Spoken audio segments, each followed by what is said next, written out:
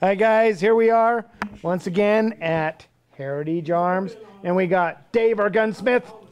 Hail, Dave! got Aleko, and we're gonna do a little project, aren't right. we? Tell them about what we're gonna do, guys. Well, you were complaining that this gun wasn't especially reliable, first of all. Yeah. Uh-huh. So what we decided to do is that we're going to make it look like a real MP5, which means all this is going to go away, and we're going to have an abbreviated forearm with a barrel sticking out.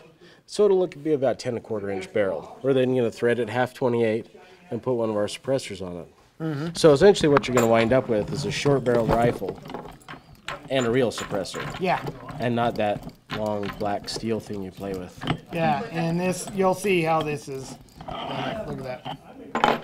Yeah, so essentially we're going to bring it back, have a stub out here about the 5 8 20, or a half 28. Yeah. So it'll be slick. And then also, uh, Mark's going to go through and do a reliability package on it for you. Mm-hmm. So uh, it'll be reliable with anything you put down it. Yeah, and he's Mark was saying how great it is. Uh, and Dave, what do you think? Tell us about it. This first time hearing of the plan. So, so um, but Mark knows what he's doing. Dave knows what he's doing. I guess Dave's going to be doing some stuff to do it. Uh, so that's let go. So, together. yeah. We're so, gonna we're gonna make it actually work. Yeah. And be, and be quiet. yeah, it's going to be. It's really going to be well behaved. You know what? And we're trying. So you guys are going to see this from start to finish. Okay, you're going to see Yeah, how we'll- we're going to take it take it apart, and uh, probably Dave will cut it down and Take a picture at each stage. No, no, we're gonna actually film the act. yeah, Kind of like when John was born, the act was filmed. Too- it was too messy. Hot. It was too hot for TV. yeah, okay.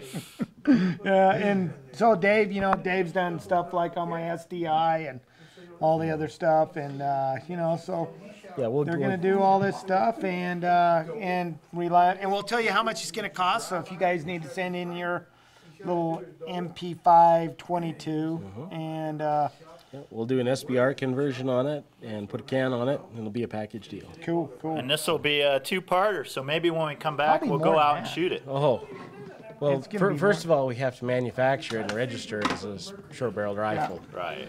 And remember, because we're going a short-barreled rifle and a suppressor, there are going to be two transfer taxes Yeah, yeah. Yeah. Right. of two hundred dollars Well, each. there's supposed to be. Isn't there one where you can do one and it kind of covers them both? Somebody was telling me about that. Or There are very few guns that you can get away with that at. Really? Okay. Because it has to be an integral suppressed gun. Okay. Cool. Okay.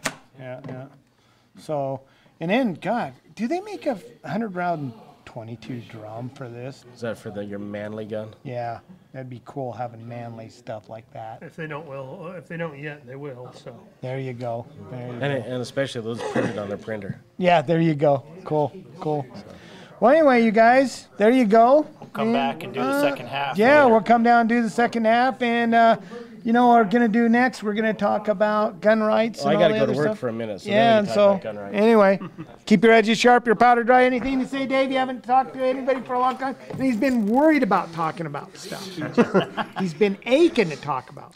Hi, Mr. Morgan. How are you out there in CNN land? And he likes you a lot, don't you, Dave? I'm your biggest fan. Bag. See you guys.